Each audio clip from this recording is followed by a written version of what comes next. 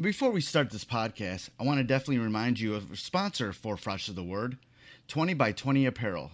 Founded in 2015, 20 by 20 Apparel brings original tributes to pro wrestling's classic arenas, moments, and events.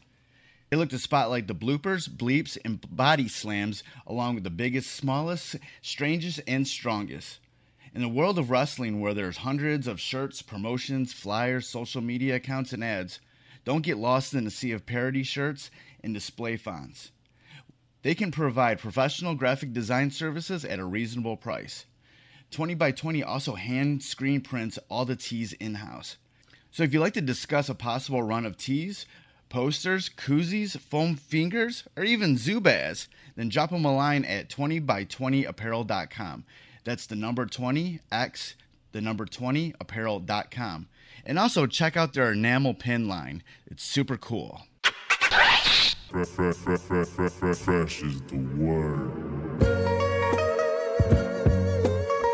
I'm Jim Duggan, got long wood for plenty hoes. I keep it fresher than fresh, but you already know. You suckers bum me, I'm money, I got a ton of flows. My weed loud like a motherfucking thunder roll. Your shit quiet like you ballin' on a budget though. We see your kicks and we laugh and yellin' what it goes. You see me shining like a suit on puffy. You know my grind, this shit is too strong, buddy. That's why the dude call money. I be stuntin' like it's nothing at all. Cause it's nothing to me. It's probably something to y'all. Trying to smoke like me, then come and fuck with dog. Got a closet full of kicks, you can't cop it tomorrow. And I'm fresher than the freshest, you can tell it's in my essence. Bitch, you see the way I'm rapping, yes, I do this shit to death. I tell I'm running out of breath, I tell somebody cut a check. But either way, you know it's fresh, and either way, you know it's fresh. Fresh, we fresh. Fresh, Fresh, fresh, fresh, goddamn it, we fresh. Fresh,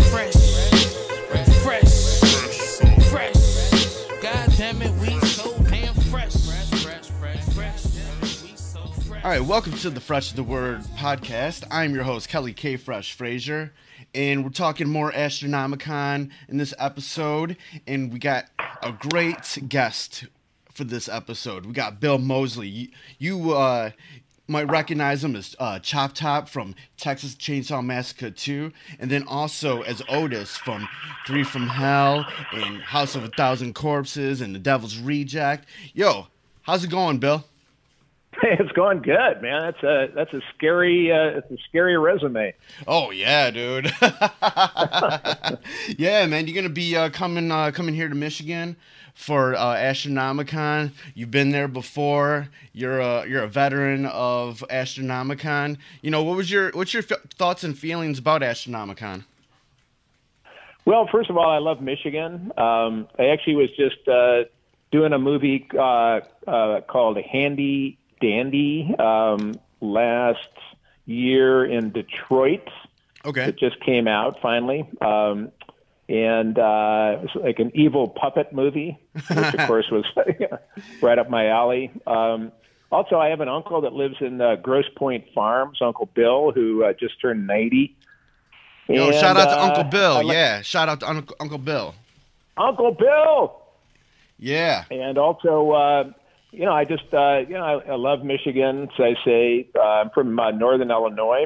Okay. So, uh, you know, I'm not a not a Lions fan. I'm a Bears fan, but uh, you know, hate black and blue division. oh well. And yeah, I know I, I can't I can't be perfect. I mean, who But, really wants uh, to be a Lions fan, though, man? We just like we just we Lions fans because we, uh, you know, we, we got hope, but you know they they always hurting us. Yeah, you know, hurt I- our feelings. you know what I'm saying? Oh, you know, I don't know what's happened, man. I you know I, I we could I I guess that's a different different podcast. Is uh, you know talking uh, Lions Bears because we both have a lot to we both have a lot to complain about. yes, yes, yes. Uh, but anyway, I'm gonna, you know, I'm looking forward to seeing Uncle Bill. Also, uh, you know, I, I love the fact that Astronomicon is in Sterling Heights because, of course, uh, Sterling is the home of Dr. Kevorkian. Oh yeah. Yeah, he's from Sterling, man. So, uh, you know, all of that is good. And again, it's it's good to get back to uh, the Midwest to my roots. Um, I've been living in Los Angeles for 30 years, and you know, like on a day like today, you know, it's 65, 70 degrees. The sun is shining. There's Oh. a beach. You know, I mean, I I don't want to torture you guys, but you know, Oh yeah. palm trees, I wonder why I moved out here. when I, when I was a kid, that was one of my jobs was shoveling off the walk when I when it would snow. And actually, that was one of my dad's, uh, you know, one of those one of those phrases that you remember for life. And uh, one of Dad's uh, phrases was "plow with the storm." Oh, And the idea being that once it starts to snow, you get out and you start plowing the driveway because if you wait for it to accumulate, it's a lot harder. Plow with the storm. So I came out to Los Angeles where, yeah, we got earthquakes and fires and mudslides, but uh, there's, you don't have to plow with the storm out here, nah, nah, nah. at least in LA. I mean, yeah, that's a plus. That's a plus. Yep. of course, we don't have seasons either. I mean, you know, you can tell it's fall. That's when the you know the leaves fall onto the astroturf. You know, so oh boy, oh boy. So yeah, that's an old Johnny Carson joke. Yeah. So coming up on uh, Astronomicon, you're going to be uh, doing photo ops as both Chop Top and then also a, uh, a dual photo op for uh, Three from Hell with uh, Richard Brake. You know, you know how do you you know what's uh you know what's your thoughts feelings you know about doing these uh, photo ops and these uh, characters that's become so popular. Well, I think with the the one with Richard Brake is a non-costume photo op, so it's just going to be two smiling young men standing there, you know, menacing with you know poor fans in between us. Yeah. Uh, but uh, with the Chop Top, um, I'm actually, uh, you know, I've got the uh, I've got the original Chop Top costume, so that'll be a part of it. I still have the coat hanger and the teeth and everything. Okay. And uh, the makeup is being done by a woman named Nora Hewitt, who uh, actually won one of the seasons of that old TV show called Face Off. So she is a really, you know, high pro makeup person. And doing the uh, chop top makeup is uh, complicated. You know, it's one thing if you did like Otis, say from House of a Thousand Corpses, that black and white makeup. It's not really that hard to do Yeah. and you just you know throw on like a corn silk wig and you know and a little red robe and there you go but with chop top you know it's uh you know it's the plate. You got to blend that in. You got uh you know little strands of hair. You got the makeup on the you know the face and the hand. So it's it's a lot more complicated. And nora is really good at it. So you know that's that's what excites me. Uh, lamentably, that's going to mean uh, chopping off the beard, but um, you know we gotta you know gotta suffer for our art. Oh yeah, yeah. So, you know, the Chop Top character was like your big break. You know, looking back to that movie, Texas Chainsaw Massacre 2, and the fact that after all these years, people want to like like have photos with Chop Top. You know, what kind of go? You know, what's your feelings about that? I feel good. I mean, I love Chop Top, and Chop Top's never been too far for me. You know, for the last you know what is it? It came out in '86, so is that like 30, almost 34 years ago? Yeah. really seems like only yesterday. but um, but uh, uh, you know, I like the fact that uh, you know, thanks to uh, you know uh, video cassettes and DVDs and streaming and whatever else they'll come up with, uh, that uh, Chainsaw Two is is very much alive and well. Um, so I'm I'm very happy about that because I love Chop Top and Chop Top, as I say, never really that far from me. You know, low these past 34 years. Um, I'm only sorry that they, you know, the Chop Top was kind of one and done. Um, I would have loved to have done more with Chop Top, uh, but uh, you know, that's just uh, the movie gods decreed that uh, you know that wasn't going to be the case. Um, but I do like, uh, you know, I, I, you know, as I say, I like to go when I go to the uh, conventions. Uh, you know, a lot of people love Chop Top and come up to the table, and I'm always happy to say, "Dog will hunt," or "Get that bitch," or "Lick my plate, you dog dick."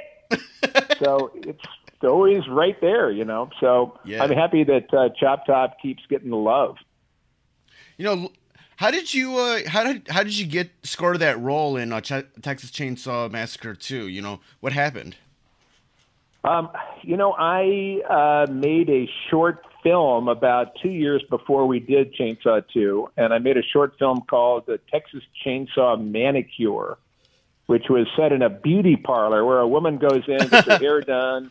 She's sitting under the dryer. She wants a manicure. The beautician calls to the back of the shop, manicure. And you hear this uh, chainsaw roaring up, and then there's this sliding silver door out of homage to the original chainsaw. And uh, out from the back of the shop comes Leatherface with a smoking chainsaw.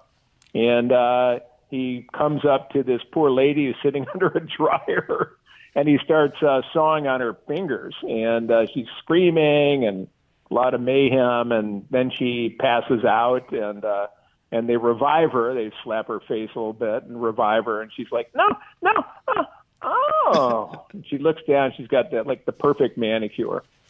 And uh, she goes out very happy with her new hairdo and her new manicure to uh, to show her husband, who's there to pick her up in a pickup truck and uh, that was my cameo as the hitchhiker with the wine mark on my cheek and the whole deal.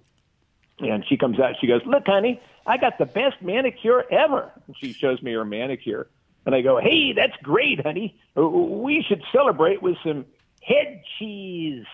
and uh, I actually went out and bought some head cheese, like a, a lump of it, uh, and it, you know, on on screen, you know, on camera, it's not really that exciting. It just looks like uh, like bologna or something like that.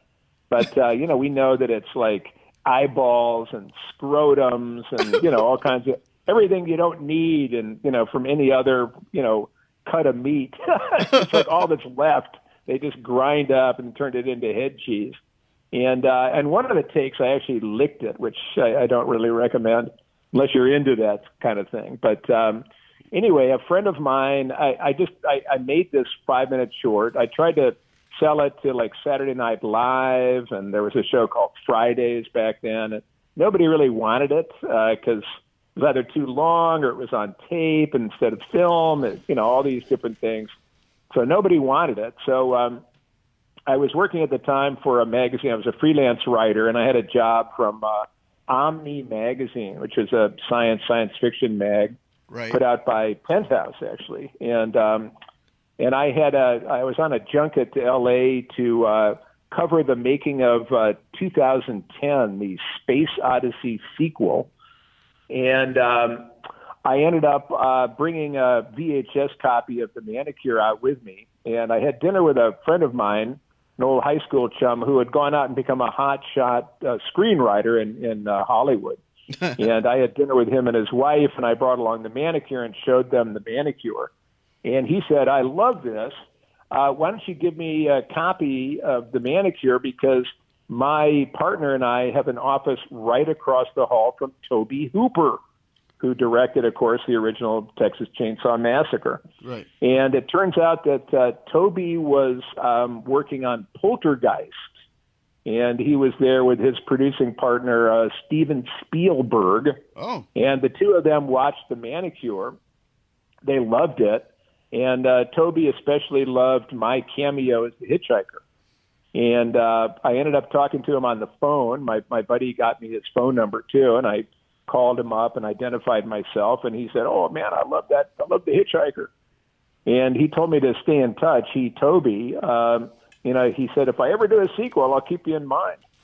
And I said, "Great."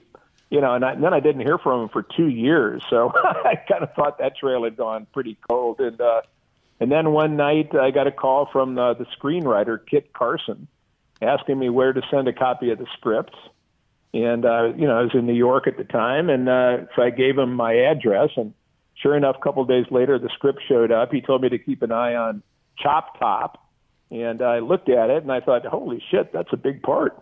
and um, the next call I got was from Cannon Films legal department, you know, asking if I had an agent or if I wanted to negotiate my own contract. So that was kind of the story, and then I just, you know, I ended up getting the job through uh, the Chainsaw Manicure and I showed up uh, in the spring of '86 in Austin, Texas, and uh, they shaved my head. Tom Savini and his his uh, gang of special effects makeup guys. they shaved my head and they made a head mold out of me, and they created the plate and the teeth and the whole deal, and I was just really off and running. Nice, nice, nice. But I, I owe so much of the uh, of the of Chop Top like 95% of it was inspired by the great Ed Neal, who of course played the hitchhiker in the original Chainsaw. You know, and every time I talk about Chop Top, I always uh, I, I don't fail to mention uh, Ed because he was uh, his character was such a great inspiration. There's a there's another role that I want to talk talk to you about that you uh, that you had that uh, a friend of mine, uh, comic book uh, author David Hayes, wanted me to talk to you about, and that is about your uh, role as Luigi Largo in uh, Repo, the genetic opera. What was your experience with that movie? Uh, that was a lot of fun. I, it was fun working with uh, Darren Lynn Bousman, the uh, the director. Uh, we shot it in Toronto. Um, I got the part.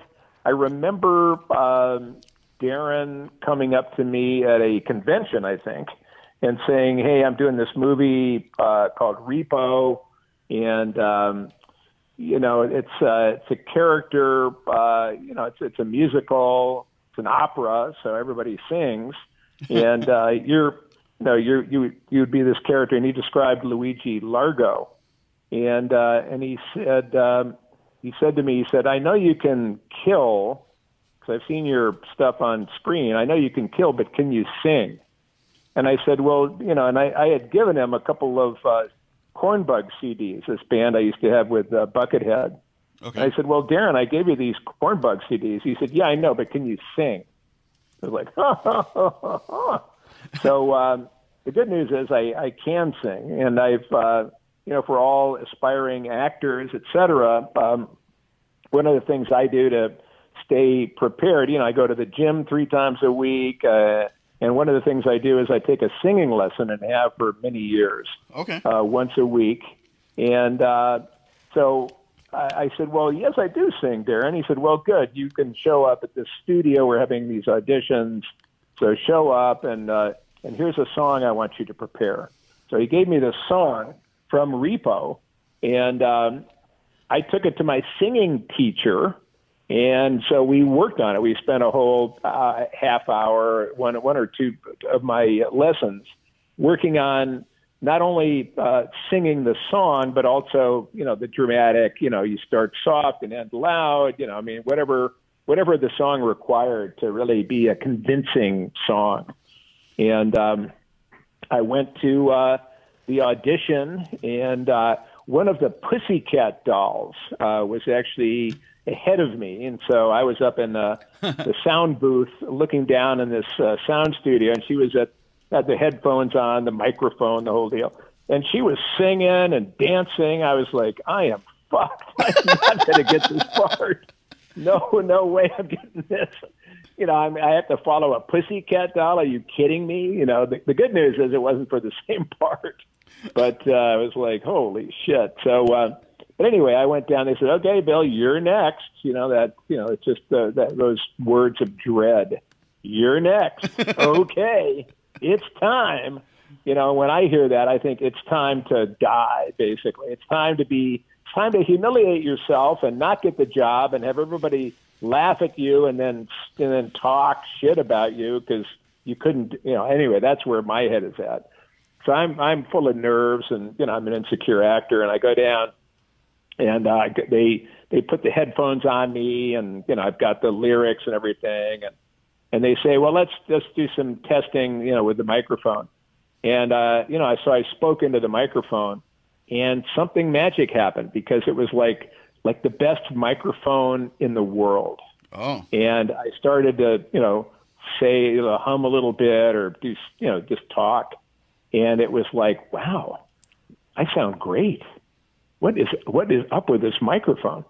And uh, and so they they played the song through the headphones, and I sang along, and you know I had, had prepared, but uh, even so, you know I just I, I was just in love with my own voice because this microphone was amazing. It was like singing in the shower times ten, where you really just suddenly hit all the high notes, and it just sounds fantastic. Right. So I, I really give I give so much credit to my repo job to that golden microphone. Um, I haven't I haven't seen it since, but you know, that night, that that magic microphone. And so uh, when I was finished, I remember taking off the headphones and looking up into the control booth and and Darren and and the music director Joe Bishara and Darren's co-writer Terrance Zdunich and Darren Smith, who you know created the repo in the first place. All of them are looking. They're they're looking down at me. They're all smiling, and their thumbs are all pointed up. Nice. I thought, well, fuck, that fucking microphone, man. so that's how I got the job. Yeah. That golden microphone. Talk more about this band, the Corn Bugs, that you were uh, that you had. You know what? What? You know, how did that band form? Um, I was doing a play in LA back in like 90, 1990. Um, and it was a play in a, in a very small theater. Excuse me. The play was called uh, Timothy and Charlie. And it was about Timothy Leary and Charles Manson, who back in 1974, I think, actually spent a night side by side in uh, solitary in San Quentin prison Oh, and um, and and based on that historical fact, there's no history that says they even knew that or talked to one another or anything like that. But based on that historical fact that they were side by side in San Quentin, uh, this playwright made up a it was like a two act play about the two of them, Timothy and Charlie, side by side, talking to each other and kind of uh, you know, having this this discussion about you know taking drugs.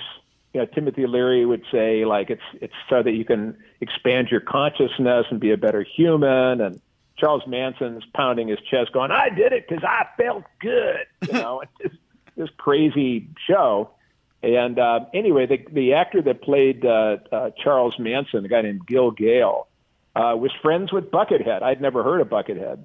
Um, and Buckethead, you know, showed up at one of the shows and came backstage to see his buddy Gil and wanted to be introduced to me because it turns out Buckethead was a big Chop Top fan. okay. And so, uh, you know, we met and I said, Hey, how, how you doing? Oh, it's Buckethead. Oh, well, great. You know, whatever. And, uh, anyway, so Buckethead, you know, I was told he was this, you know, great guitar player and everything. I, I, I believed it. I said, okay, yeah, good. And Buckethead, uh, you know, proposed that I come down and go off, quote unquote, on some, uh, some music that he'd recorded.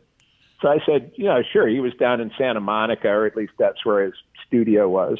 So I said, sure. So I went down a couple days later after we had talked about it. I remember driving down. I had my bongos in the car, and uh, you know, I got a coffee at McDonald's and showed up at this, you know, this guy's apartment that had like recording equipment in it, and um, you know, Buckethead started playing some stuff, and I started doing stuff as Chop Top, just you know, kind of making stuff up, and um, and Buckethead liked what I was doing, and I liked Buckethead. I liked, you know, the, the music was really cool, and so, uh, you know, uh, Buckethead ended up calling uh, calling me and asking me to, you know, if I wanted to come to New York and uh, and and and do vocals on a, a track or two on his album that he was recording. I think at the time for Sony Records Okay. and uh, it was called Giant Robot. And so I said, yeah, sure, that'd be great. So I was very excited. Uh, you know, I was going to be a rock star. really, you know, a lot of big ideas. And um, and Buckethead uh, wanted me to, you know, basically appear as Chop Top on his record. And I remember just before getting on the plane to New York, I remember, which is where he was recording the the album. I remember calling a friend of mine who was a professor of uh, copyrights, uh, copyright law at uh, Loyola Marymount University here in Los Angeles. Okay. My old college buddy Jay, and I said, "Hey Jay, uh, just wanted to run this by you. I'm, I'm about to go and do this gig as Chop Top, and you know I don't own the rights to Chop Top. I mean, obviously that's you know the movie company, but I'm just wondering if I can still do that." And he said, "Well, you know, uh, no, you can't." I was like, whoop. And he said, uh, he said, you know what I would do is uh, just to be, just to play it safe, I would just, uh, you know, come up with a different character. And I went, oh, okay, thanks a lot. And I hung up the phone. I thought, come up with a different character. Oh boy. You know, I, that's Chop Top. It's my only character. That, that's my character. You know, come up with a different character. So anyway, so I got on the plane. You know, I didn't want to tell Buckethead that because I wanted to fly to New York. Yeah, I got on the plane. I was thinking, like, on the plane from LA to New York, I'm thinking, come up with a different character. So I started thinking about it, and um, I, uh, you know, I, I thought about. I saw like a farm, like a ranch. Somehow, I, I started thinking about ranch hands, and I started thinking about these, you know, severed hands that were crawling around the ranch hands, and then I was starting to think. Then I started to think about this scarecrow and I thought uh, scarecrow, and then I thought scare, and I just thought this I thought Shoobird, S H O O B I R D, like scarecrow, Shoobird, and uh, so I had this idea about you know this scary scarecrow Shoobird. That would be my character. And uh, I remember getting to New York. I got to the hotel. Buckethead had just come back from you know 12 hours in the studio, you know, slaving away on his album he was happy to see me. He was excited because I was going to do Chop Top, and I saw him and I uh, I said, "Hey man, how's it going?" And we were having a chat, and I said, uh, "Oh, by the way, uh, I can't do Chop Top because I don't have the." Buckethead literally his face darkened. I've, I've never seen that before, so so pronounced.